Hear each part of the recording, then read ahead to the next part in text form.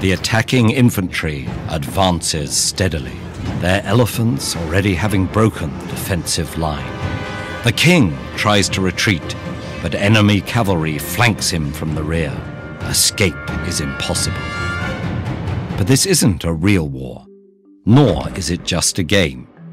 Over the roughly one and a half millennia of its existence, chess has been known as a tool of military strategy, a metaphor for human affairs, and a benchmark of genius. While our earliest records of chess are in the 7th century, legend tells that the game's origins lie a century earlier. Supposedly, when the youngest prince of the Gupta Empire was killed in battle, his brother devised a way of representing the scene to their grieving mother. Set on the 8x8 Ashtapada board used for other popular pastimes, a new game emerged with two key features different rules for moving different types of pieces, and a single king piece whose fate determined the outcome. The game was originally known as Chaturanga, a Sanskrit word for four divisions.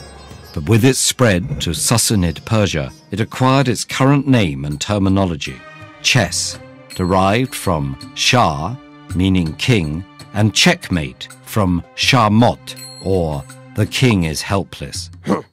After the 7th century Islamic conquest of Persia, chess was introduced to the Arab world.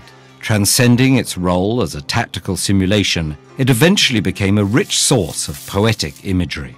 Diplomats and courtiers used chess terms to describe political power. Ruling caliphs became avid players hmm. themselves, and historian Al Masudi considered the game a testament to human free will compared to games of chance.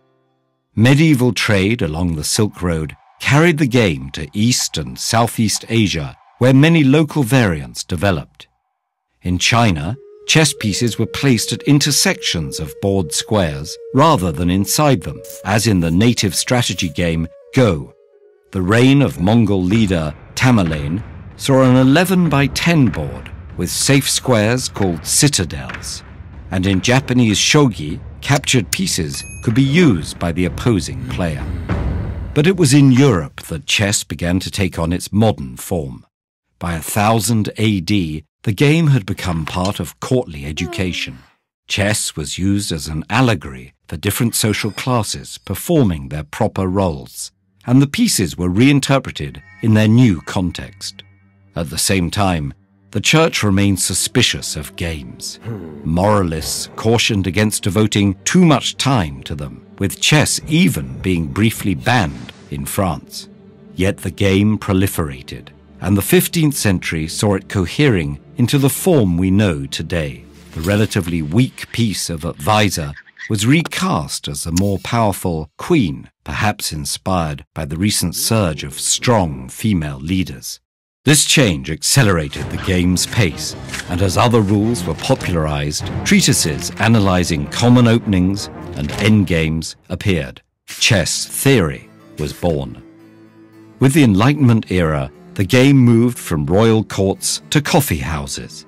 Chess was now seen as an expression of creativity, encouraging bold moves and dramatic plays.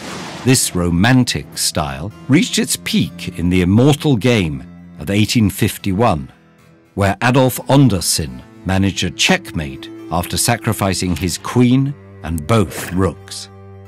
But the emergence of formal competitive play in the late 19th century meant that strategic calculation would eventually trump dramatic flair. And with the rise of international competition, chess took on a new geopolitical importance. During the Cold War, the Soviet Union devoted great resources to cultivating chess talent, dominating the championships for the rest of the century. But the player who would truly upset Russian dominance was not a citizen of another country, but an IBM computer called Deep Blue.